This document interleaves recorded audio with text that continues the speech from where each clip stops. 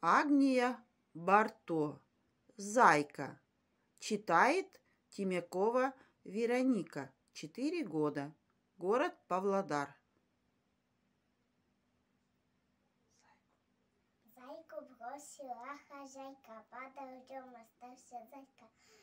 Со скамейки слезть не смог.